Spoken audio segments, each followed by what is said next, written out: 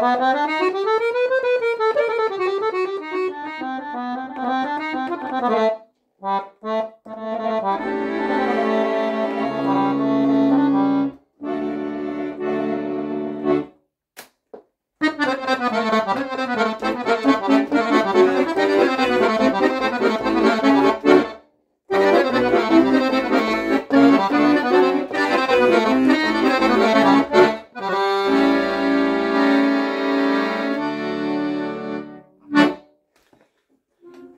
Dragi moji poštovani prijatelji širom svijeta, jedan srdačan pozdrav za sve vas i ovo sad A7D dur nije bio kraj nego početak ovog današnjeg, današnjeg našeg druženja. Možda sam malo neobičnim naslovom, ali evo pokušat ću biti kratak i ponekad je ovako neki video, ajde tako kažem, motivirajući koji bi trebao da motivira ili da nas stavi na razmišljanje, jer vjerujte, e, razmišljanje je jedna od najbitnijih stvari inače u životu, ali također i u procesu učenja, izučavanja, u ovom slučaju harmonike, sviranja harmonike, jako je bitno da, da se naučimo razmišljati. E, jer mi nekako shvatamo da trebamo razmišljati često tuđim mozgom, da ćemo samo one note koje su tamo napisane i o njima je neko ko je njih pisao razmišljao. Znači, jer tako i mi moramo se pokušati staviti ili probati, barem vremenom, zavisno na kojem smo nivou učenja, ali ja vam savjetujem od samog početka da sa razmišljanjem, ne da se s tim napravimo sami sebi stres u životu, nego da u tome uživamo, u tom procesu učenja u stvari uživamo, jer čuli smo vjerojatno mnogo puta da je u samom tom putu e, nekako najljepše. Već kad se dođe do cilja, čovjek traži automatski neki sljedeći cilj i nikad tome nema kraja. I tako da je u tom, u tom samom procesu učenja jedno zadovoljstvo trebamo tražiti. Naravno, prije svega pozdrav svim mamama na, na lijepim komentarima, hvala lijepom praćenju. Vidim dosta vas ima i vidim da ste prilično zadovoljni sa ovim što radim. Ja naravno pokušavam naći e, vremena da vam što više toga prenesem. E, ali današnja tema bi, bi bilo tako da kažem nekakav dobar savjet, nekakav jedan savjet možda koji, koji vam mogao nešto koristiti u, u vašem životu, jedan, ajde tako ga nazovemo, mentalni trik, e, da sam sebi malo tako prevarimo taj naš mozak koji uvijek razmišlja u jednom pravcu, a mi moramo početi razmišljati i srcem i mozgom, jel, zajedno. I možda u, u današnja tema sam razmišljao e, da vam prenesem jednu poruku. E, mi se često pitamo i dolazimo sami sa sobom u, u stres kao prvo kako ćemo naći vrijeme, kad da nađemo toliko vrijeme, pa i kad ga nađemo opet nam ne ide onako kako smo mi to sve zamislili. I uvijek se pitamo kako, kako ja to mogu postići taj svoj, tvoj, svoj cilj koji sam sebi zadao, ne znam. I baš tu u tom pitanju jeste, čini mi se, fora, da tako kažem pod navodnim znacima, to pitanje kako vi ćete svakako naći, onaj ko nešto želi, on nađe sistem. sistem. Vi kad nešto volite, kad volite djevojku, kad volite momka, e, bez obzira kakve su prepreke, vrijeme loše, e, sve te ne daju sa jedne strane, druge strane, jednostavno, ali čovjek nađe za nešto što voli i što želi, on stvarno nađe vremena i nađe mogućnost. Znači, pitanje kako nije, nije glavni problem, jer danas, e, ako ćemo iskreno biti, imamo takve mogućnosti da je samo pitanje, uopšte to pitanje kako, maltene ne treba ni postavljati jer imamo evo, od YouTube-a do knjiga, raznoraznih učitelja, ovakvih, onakvih škola, oficijalnih škola na kraju krajeva.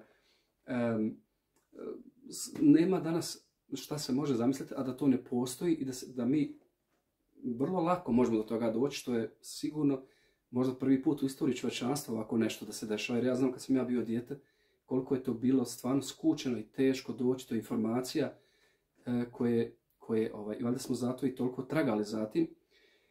I da se vratimo na temu. Znači, nije pitanje samo kako ću ja doći do određenog cilja, nego e, ovaj mentalni trik mozgu da postavimo pitanje e, u stvari šta želim ja biti na tom cilju. Da se postavimo pitanje ne kako doći do cilja, jer mi doći, ako želimo mi ćemo stvarno doći do cilja, nego je pitanje šta ja stvarno želim kada dođem na taj cilj, šta želim ja biti. U ovom slučaju, ja vam savjetujem, jer ovaj me video nagnao na to, pošto puno vas je meni pisalo i puno, puno mi ovako kaže. Moj cilj je da naučim nešto malo i da mogu eventualno ovako za svoju raju, za svoje društvo, za par nas kad sjedimo da mogu odsvirati, ne znam, nek lepić na nulama i par nekih laganih pjesama i to je to. Ako je to razmišljanje, naravno i to je validno i to je ok i to je ništa protiv, naravno treba svaki čovjek da ima svoj cilj.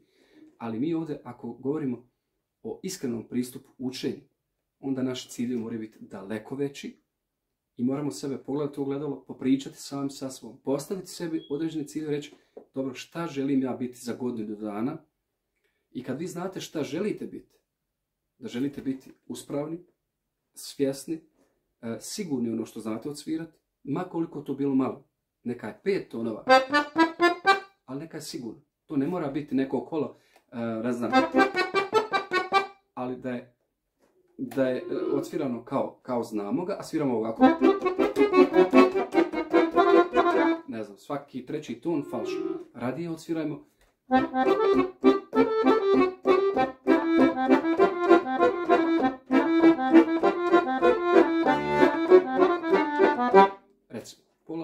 Čisto, da ste svjesni šta svirate, koje trilere i da je vaš cilj, aha, baš ovako za godinu dana moći svirati. Godina dana, znamo svi tako brzo prođe, sa dvije godine već možete daleko, duplo brže svirati.